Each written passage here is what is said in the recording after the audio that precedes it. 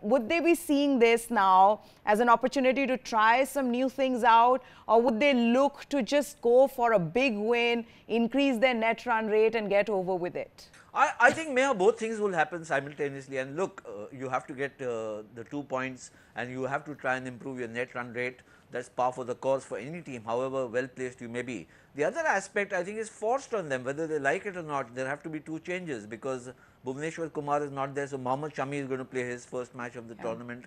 And I think they would not want to risk Vijay Shankar. Uh, you know, you have to give, if he's been injured, however mildly, so to speak, mm -hmm. uh, mm-hmm. give him time to recover because you have enough arsenal your, on your bench strength. So maybe yeah. it's just working out, the script is working out splendidly for somebody like mm -hmm. Rishabh Pant. You know, he gets a chance to get into the squad and immediately gets into a game.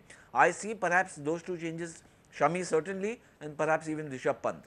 Do you agree to this as well, uh, Rohan? Because there has been this talk around the team management, around the team, that you know there is a likelihood of Pant uh, finding his way into the side in the game against Afghanistan. But do you believe that is the right thing to do? Vijay Shankar has done nothing wrong in the in sure. the match that he's played. You know, he's he's acquitted himself uh, wonderfully well, so he's done nothing wrong.